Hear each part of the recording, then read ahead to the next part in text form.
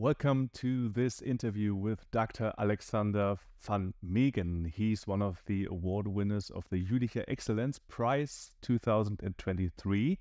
That's an award for outstanding young scientists, for doctoral researchers here at the Forschungszentrum. Alexander, first of all, congratulations on the prize. Thank you very much. What would you say briefly? What is your research? What was your doctoral thesis about? The the broad pictures really to gain an insight on how the brain works, how it processes information, how we perceive things. Mm-hmm. And there are still a lot of very basic questions that are wide open where we have no understanding. And I think that's particularly relevant in order to cure diseases, to, to understand what goes wrong and then how to fix it. And so the approach I took within my thesis was a physicist's approach. So I tried to reduce it to abstract away details and to make it more and more tractable and more and more understandable. And so I created models on various levels of details. The most detailed ones I simulated here on the supercomputer.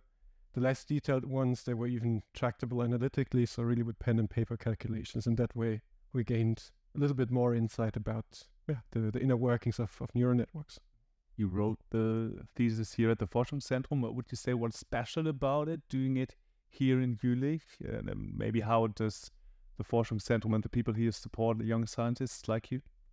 So, to me, I think the first thing that struck me when coming here for my interview was when I entered the building, the INM mm-hmm. 6 Institute for Computational Neuroscience, was that it really felt like a IT startup. There were screens hanging on the wall, people programming in front of it, everybody was like busy working on mm-hmm. something. It really created a, a lively atmosphere, a very creative atmosphere, and that that really struck me. And yeah, I think in the in the bigger picture, there's the closeness to to the supercomputing center here, which was really important for us to develop these these simulations to optimize the code to make it run faster.